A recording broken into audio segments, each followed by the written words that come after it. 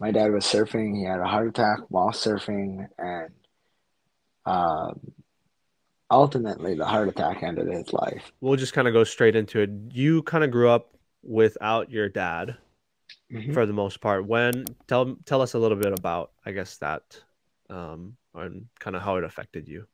So I was 11 years old when it happened. Uh, it was Mm. May 8th, 2003. hmm Um, and it was my dad was surfing. He had a heart attack while surfing, and um, ultimately, the heart attack ended his life. But hmm um, he also drowned, quote unquote. hmm Um, but as a kid, like being that as young as I was, my parents were already divorced. hmm I don't know. I kind of Liz and I were talking about this the other day.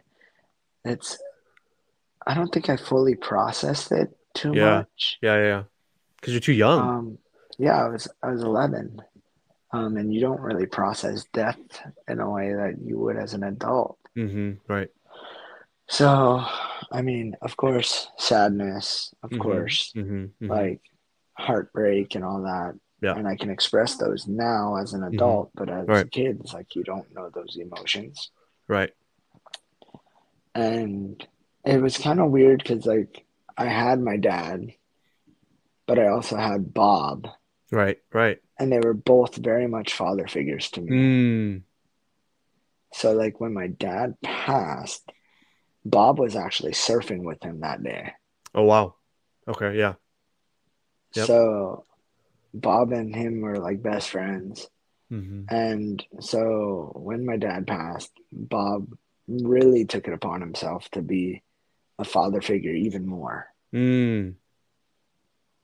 Um, Yeah. So, yes, it was sad, heartbreaking, but other than that, like I don't really remember it too much because I was just so young. Yeah. Yeah. Yeah. Yeah. Yeah. And then I've grown up with it for so long without him being here that hmm it's kind of weird in that sense. Like, hmm like yeah, I, I hear stories about him and I'm like, man, I wish I would have known him more. Sure. Yeah. Yeah.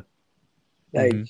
um, my sister was just on island, um, and she brought her mom, who we have different moms. hmm Um, but the last time her mom was here was like 40 some years ago. Oh wow. Okay.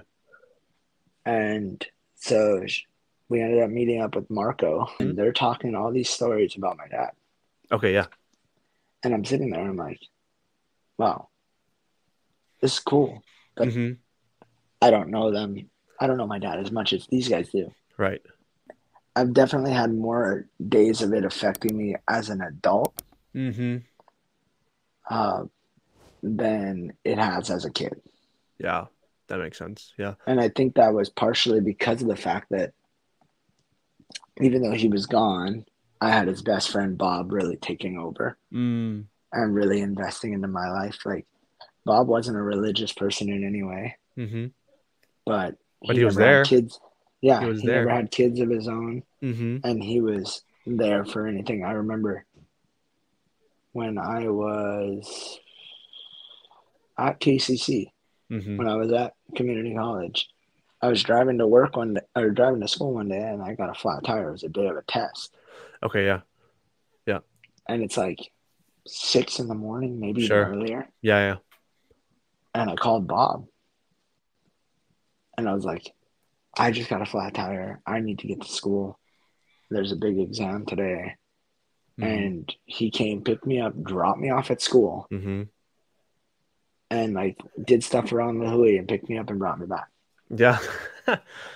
It's like, like I look back at that now and I'm like, I mean, I'm sure he had other plans and he completely changed his plans around to help me Mhm. out. yeah. Like who does that? You know. Yeah. Yeah. Aside That's from cool. family. Yeah. Yeah. Yeah. hmm Um, so, uh, I think what was quote unquote a little harder on me than losing my actual dad was when Bob passed away when I was 19 Mm. because Yeah. I was older. Right. Yeah. So that I think was harder on me hmm a little bit. So how do you how do you deal with that stuff? Like, do you still deal with that stuff now? Um, not so much like hmm um because I've dealt with death a lot as a kid growing up. Hmm hmm Um, I have learned to not in a sense like ignore it, but like what happened has happened. No matter how much I grieve, hmm life's gonna keep going forward. hmm And if I stay here and dwell on this, I'm never Mhm. gonna move forward with life. Right. Yeah. So sure. Mhm. like I'm very focused on the now and the future as much, not as much as the past. Right. Yeah. Yeah. That's good. So that's kind of how I deal with it. I mean, everyone's different. Some people Mhm. need to really process through their Mhm. emotions and work through it. Right. Um, but for me, that was my big thing was I need to get up, go to work, do what I got to do. I got to move forward. I got to, life goes on. Yeah. And yes, there are moments of grieving. Yes, there are moments of sadness where you got to cry it out and you're going to feel the heartbreak. You're going to feel Mhm. the sad, the pain, hmm but they're, they're fleeting.